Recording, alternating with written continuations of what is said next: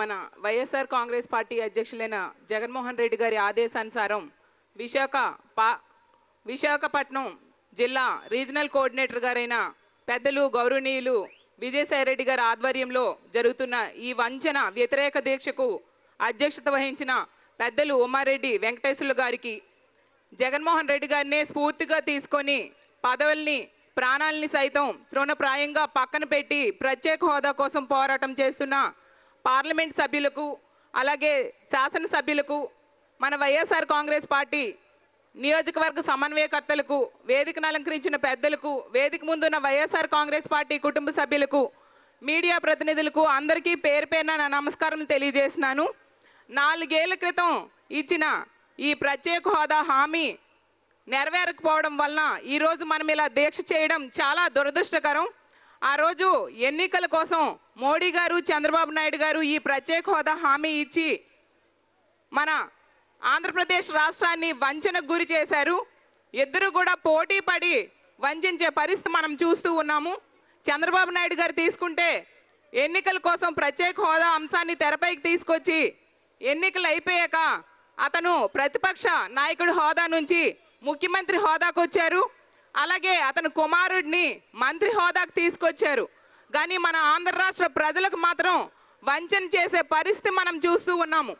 అలాగే గత నాలుగేళ్ళుగా మన వైఎస్ఆర్ కాంగ్రెస్ పార్టీ ఎంతగానో ఈ ప్రత్యేక హోదా కోసం పోరాటం చేసి ఈరోజు ఆ ప్రత్యేక హోదా అమలు కాలేదని వంచన దీక్ష చేస్తూ ఉంటే ఆశ్చర్యకరమైన విషయం ఏంటంటే మటన్ షాపు యజమాని గొర్రెల హక్కుల కోసం పోరాటం చేస్తున్నట్టుగా చంద్రబాబు నాయుడు గారు ఈరోజు ప్రత్యేక హోదా కోసం వంచన దినం చేయడం చాలా హాస్యాస్పదం. ప్రజలందరూ దీన్ని చూసి నవ్వే పరిస్థితి మనం చూస్తూ ఉన్నాము. అలాగే అతిపెద్ద ప్రజాస్వామ్య దేశమైన భారతదేశంలో మనకి దేవాలయం లాంటి పార్లమెంట్లో ఇచ్చిన హామీని ఈ రోజుకి అమలు చేయక కేంద్ర రాష్ట్ర ప్రభుత్వాలు రెండు కూడా మన ఐదు కోట్ల మంది ప్రజలని వంచిన పరిస్థితి మనం అందరం చూస్తూ ఉన్నాం. దేశంలో ఏ రాష్ట్రానికి జరిగినట్టుగా ఆ రోజు అడ్డుగోలుగా మన తెలుగు ప్రజల్ని మన రాష్ట్రాన్ని విభజిస్తే ఈరోజు ప్రత్యేక హోదా ఇవ్వకుండా వంచిన పరిస్థితి మనందరం చూస్తూ ఉన్నాం. మోడీ గారిని తీసుకుంటే పార్లమెంట్లో ఇచ్చిన హామీని తొంగలో తొక్కి ఆంధ్ర రాష్ట్ర ప్రజల్ని వంచడమే కాకుండా జగన్మోహన్ రెడ్డి గారి ఆదేశానుసారం మన ఎంపీలు దేశంలో ఎవరూ చేయనట్టుగా అవిశ్వాస తీర్మానం పెట్టి పదమూడు రోజులుగా దాని మీద చర్చ కావాలని పోరాటం చేస్తే కనీసం చర్చించే అవకాశం కూడా ఇవ్వకపోవడం మోడీ గారు చేసిన వంచన కాదా అని ప్రశ్నిస్తున్నాను. అలాగే లక్షలాది మంది యువత మోడీ గారిని గెలిపిస్తే ప్రత్యేక హోదాను తొంగలో తొక్కి యువత భవిష్యత్తుని దొంగలో తొక్కిన మోడీ గారు చేసింది వంచన కాదా అని నేను ప్రశ్నిస్తున్నాను. అలాగే మన విశాఖపట్నానికి వచ్చి రైల్వే జోన్ ఇస్తానని చెప్పిన మోడీ గారు ఇవ్వకుండా వంచన చేయడం నిజం కాదా అని నేను ప్రశ్నిస్తున్నాను. మోడీ గారు ఈ విధంగా వంచన చేస్తే చంద్రబాబు నాయుడు గారు ప్రత్యేక హోదానే కాకుండా ఆరు వందలకు పైగా హామీలు ఇచ్చి ఏ ఒక్కటి కూడా అమలు చేయకుండా మన ఐదు కోట్ల మంది ఆంధ్ర రాష్ట్ర ప్రజల్ని వంచిన పరిస్థితి మనం చూస్తూ ఉన్నాం.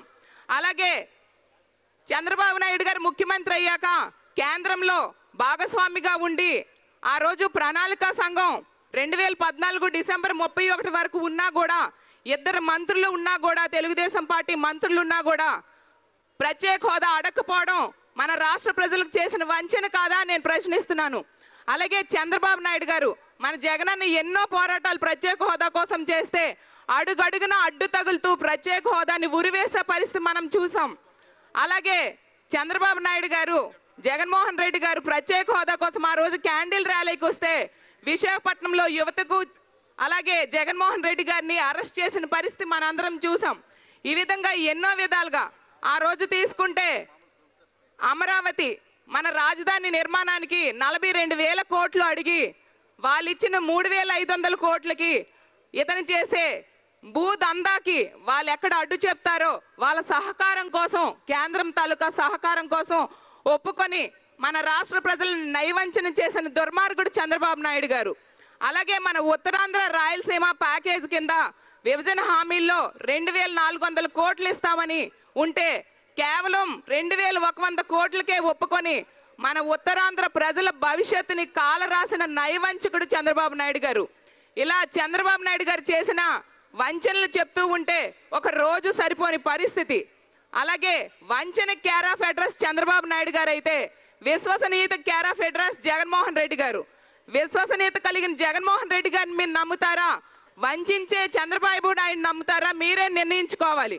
ఆ రోజు కేసీఆర్కి తెలంగాణ ప్రజలందరూ కూడా మద్దతు తెలియజేయడం వల్ల తెలంగాణ రాష్ట్రాన్ని సాధించారు. అలాగే మీరందరూ కూడా జగన్మోహన్ రెడ్డి గారు చేస్తున్న ఈ ప్రత్యేక హోదా పోరాటానికి మద్దతు తెలియజేస్తే ఖచ్చితంగా మనం ప్రత్యేక హోదా సాధించి తీరుతామని తెలియజేస్తున్నాను. ఎంత ఘోరం అంటే చంద్రబాబు నాయుడు గారు అడుగుతున్నారు ప్రత్యేక హోదా కోసం పోరాటం చేస్తే అతని మీద కేసులు పెడతారు. ఆ కేసుల నుంచి రక్షించడానికి మీరు అందరూ మద్దతు ఇవ్వండి అని. అదే జగన్మోహన్ రెడ్డి గారు అడుగుతున్నారు ప్రత్యేక హోదా కోసం పోరాటం చేస్తున్నా నాకు మద్దతు ఇవ్వండి అని చెప్తున్నారు. ఎంత వ్యత్యాసమో వాళ్ళిద్దరికీ మీరు అర్థం చేసుకోవచ్చు.